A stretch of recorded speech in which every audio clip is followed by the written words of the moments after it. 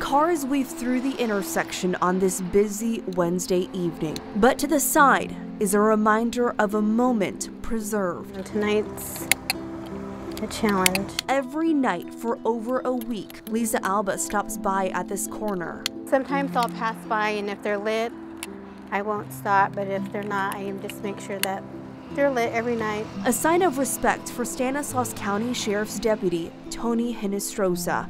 He was killed in the line of duty at this spot. Tony was a, a man of God, so um, he was baptized Catholic, and in our religion, um, having candles lit before a person is buried is very important to us.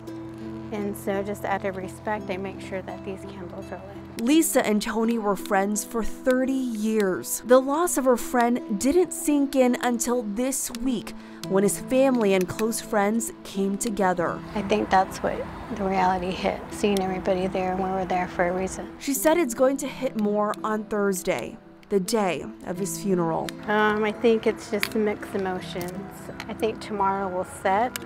It's just, it's very tragic what happened. People in the community have been sending flowers to the family.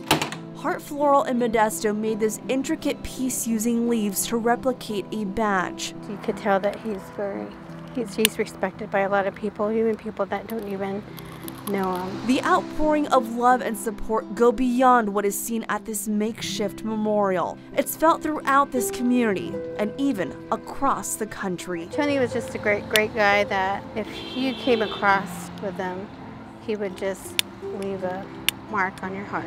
As cars drive off to their destinations from this spot, the lights are a reminder his life will always be remembered. Hey, I believe Tony is watching. I know he's still around. That's why when I, I pass and I don't see them lit, I can't not, not come back and light them. Ananda Rochita, ABC 10 News.